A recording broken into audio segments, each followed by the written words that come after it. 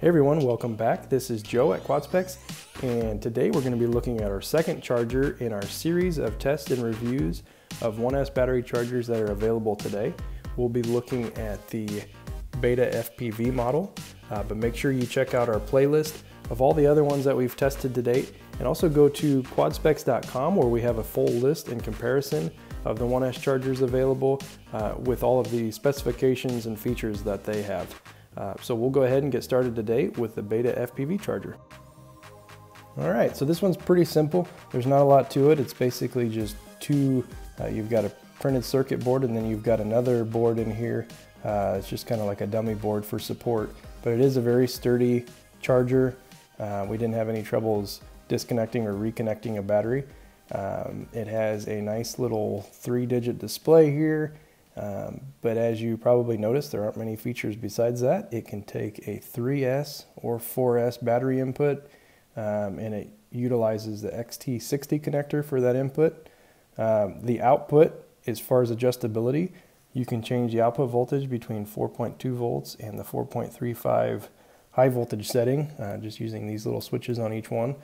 Uh, it is independent control for each one of the channels, so that's nice uh, but you cannot change the current setting. It is strictly a 400 milliamp output, um, so that'll just have to do if this is the model you decide to get.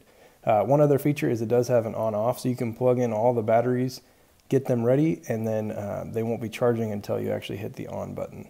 Uh, it's just easy to turn them off. So we'll go ahead and get started with the testing.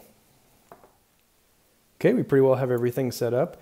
Uh, we have a 4S battery that's plugged into the charger and you'll notice here that the display only shows the input voltage. It doesn't scroll through and show you all of the different voltage readings for each channel. So it's a little more limited than some of the other chargers in that respect.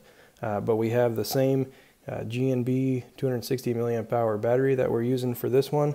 Uh, we'll go ahead and plug it in and then we're actually on the 4.35 high voltage setting. We'll go ahead and turn it on.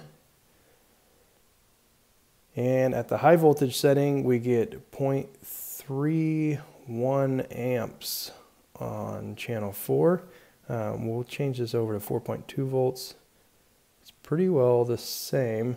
Um, nothing's changing there. So that's quite a bit underneath the stated 400 milliamp. So we're looking at 300 milliamp or 310 milliamp. Um, why don't we change the ports here and see if we can get a different reading. Same thing there. Try one more. Okay, so the output is quite a bit below what they advertise.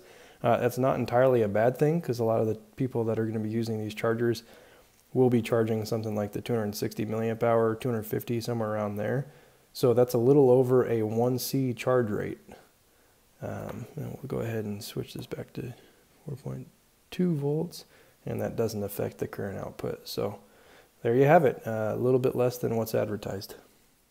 Okay, so the final test is to see what the voltage is on all these batteries once they're done charging to see if it actually reaches the intended voltage. So the top two, again, like we did on the last one, are 4.35 volts. These two are 4.2 and these are 4.35. Since they all have independent control, we're going to test out um, what the final voltage is. So we'll let those charge and we'll come back. All right, they're all finished charging. We're gonna go ahead and take them off and see what the voltages were with our little Beta FPV voltage tester. This one charged to 4.3 volts. The second one to 4.3. Now these ones should have been charged to 4.2 volts. They got to 4.19 and 4.18. And finally, these again should have been charged to 4.35.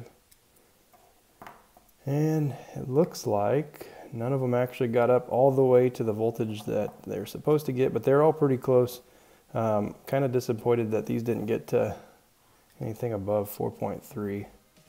So overall, the Beta FPV kind of underperformed considering that it did not reach the 400 milliamps and it also did not reach the 4.35 volts for all of the batteries that we charged. That does it for the test and review of the Beta FPV charger. Make sure you check that playlist for any of the other ones we've tested.